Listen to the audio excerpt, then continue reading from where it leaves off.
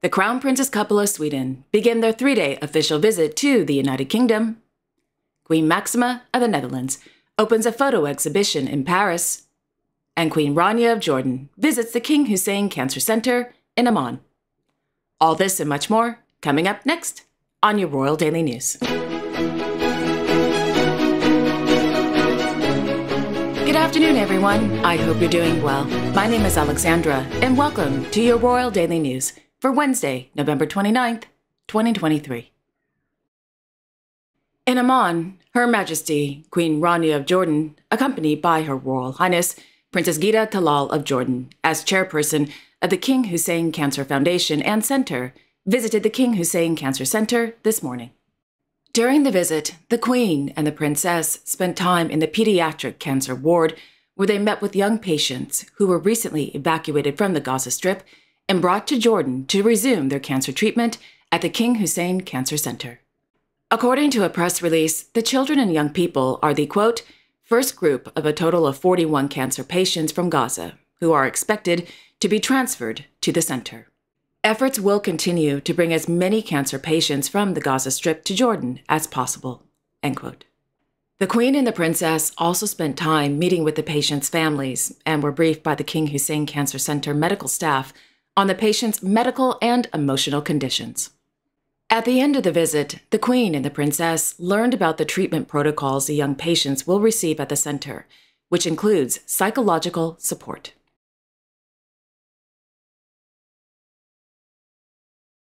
In Madrid, Their Majesties King Felipe VI and Queen Letizia Spain and Her Royal Highness Princess Leonor of Asturias presided over the solemn opening ceremony of the 15th Constitutional Legislature, a joint session of the Cortes Generales, the Congreso de los Diputados, and the El Senado at Palacio de las Cortes. Upon their arrival, Their Majesties and the Princess were warmly welcomed by the Prime Minister of Spain, Pedro Sanchez and by the Chief of the Defense Staff, Mr. Teodoro Esteban Lopez Calderon.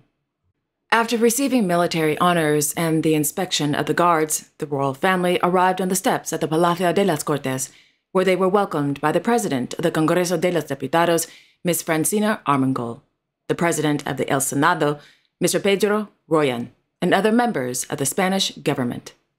During the opening of the joint session, His Majesty the King gave a speech, stating, quote, the Spanish people have placed their honors in the most precious political asset trust.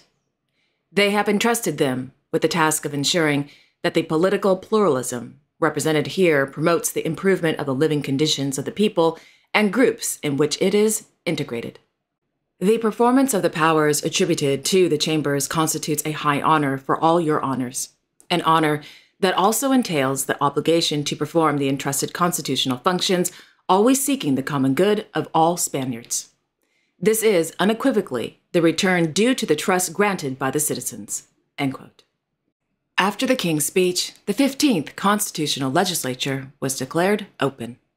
Thereafter, the royal family arrived in the conference hall, where they met with various authorities and other distinguished guests who attended the opening.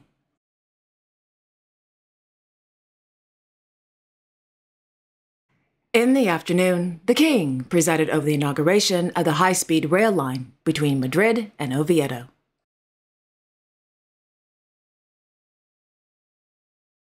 In Luxembourg City, His Royal Highness Grand Duke Henri of Luxembourg held an audience with new members of the Bureau of the Chamber of Deputies at the Palais Grand Ducal. In Brussels, His Majesty King Philippe of the Belgians received letters of credence from newly appointed ambassadors to the Kingdom of Belgium at the Palais Royal de Bruxelles. The newly appointed ambassadors are from the Republic of Equatorial Guinea, the Republic of Guinea Bissau, and the Republic of Nicaragua. Each new ambassador accredited to the Kingdom of Belgium visits the Palais Royal de Bruxelles to present his or her letters of credence to the sovereign. The Letters of Credence is an official document in which a foreign head of state informs the sovereign that he or she has just appointed the ambassador as the official representative in the Kingdom of Belgium. Receiving the Letters of Credence formalizes his or her entry into office in the Kingdom of Belgium.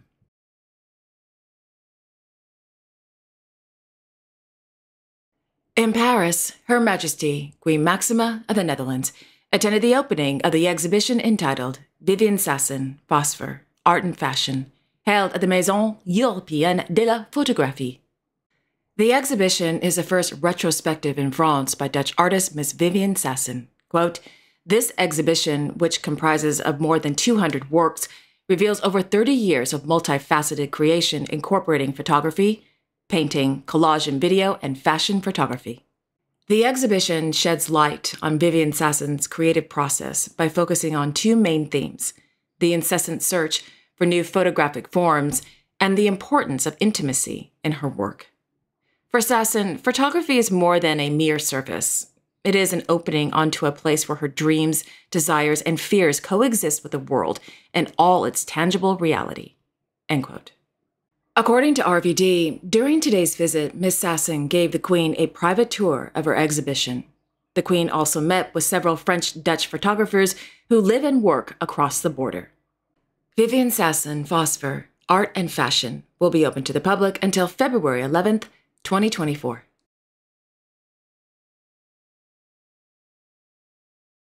In Den Haag, His Majesty King Willem Alexander of the Netherlands received letters of credence for newly appointed ambassadors to the Kingdom of the Netherlands at Paleis Noordeinde. The newly appointed ambassadors are from the State of Qatar, the Republic of Albania, and Malaysia.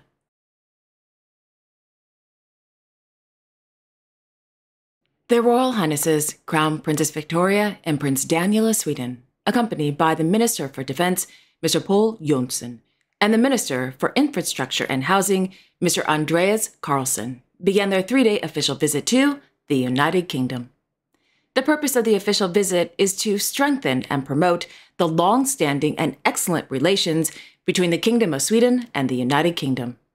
Moreover, to highlight enhanced cooperation in the areas of security and defense, the green transition, innovation and research, and increased exchanges within the business sector all included in the recently signed Swedish British Strategic Partnership. The day began with the Crown Princess couple accompanied by Minister Jonson and the British Minister of Defense, Mr. Grant Shapps, visiting Ukrainian soldiers who are being trained by officers and soldiers from the Swedish Home Guard within the framework of the British led Operation Interflex. In the afternoon, the Crown Princess couple visited the Three Blackbirds pub, where they met with the pub owner, learned about English pub culture, and listened to a presentation about East Anglia.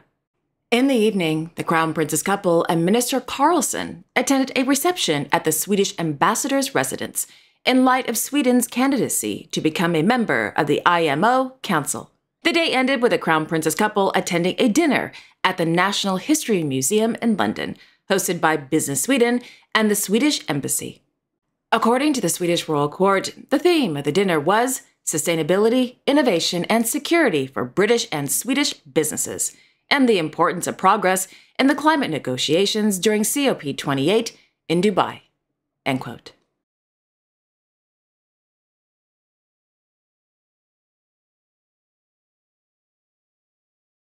And there you have it. Thank you all so much for joining me this afternoon. I will be back tomorrow on Thursday, November 30th, with all the latest royal news. Until then, I wish you all a wonderful afternoon and a great day tomorrow. And don't forget to like, share, and subscribe, and hit that notification bell so you won't miss a thing. Okay, again, have a wonderful afternoon, everyone, and I will see you all tomorrow. Take care.